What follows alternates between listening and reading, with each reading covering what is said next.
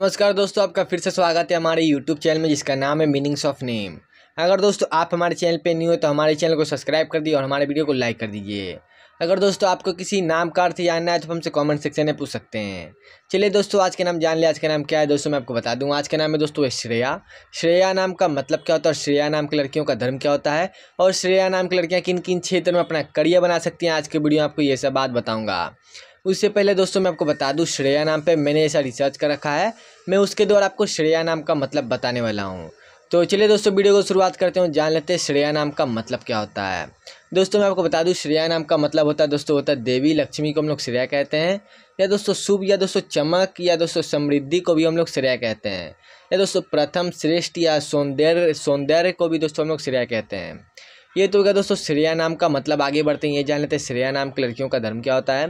तो दोस्तों मैं बता दूँ, श्रेया नाम की लड़कियों का धर्म होता है, वो होता है दोस्तों हिंदू धर्म, श्रेया नाम की लड़कियों का। आगे बढ़ते हैं दोस्तों, ये जान लेते हैं श्रेया नाम के लड़कियों का दोस्तों शुभ राशि क्या होता है तो दोस्तों मैं बता दूँ, होता है कुंभ राशि, श्रेया नाम के लड़कियों का। आगे बढ़ते हैं, ये जान लेते हैं दोस्तों श्रेया नाम के लड़कियों का दोस्तों लकी नंबर क्या होता है तो दोस्तों मैं बता दूँ होता है चार यानी फोर होता है दोस्तों, लकी नंबर श्रेया नाम के लड़कियों का। आगे बढ़ते हैं, ये जान लेते हैं श्रेया नाम के लड़कियों का। दोस्तों, शुभ रंग क्या होता है तो मैं बता दूँ। वो होता है दोस्तों, हल्का नीला और बैगनी। ये होता है दोस्तों शुभ रंग श्रेया नाम के लड़कियों का। अगर दोस्तों हम लोग शुभ दिन की बात करें, शुभ दिन क्या होता है तो दोस्तों मैं बता दूँ होता है शनिवार। अगर आपका नाम श्रेया है तो आप शनिवार के ही दिन कोई भी शुभ काम करिए, उससे क्या होगा? आपका काम बहुत ही आसानी और सफलतापूर्वक से होगा। आपको कोई भी काम करने में किस तरह की दिक्कत नहीं होगी किस तरह की हानि नहीं होगी। तो दोस्तों सबसे ज़रूरी बात कर लेते हैं, श्रेया नाम की लड़कियाँ किन किन क्षेत्र में अपना करियर बना सकती हैं।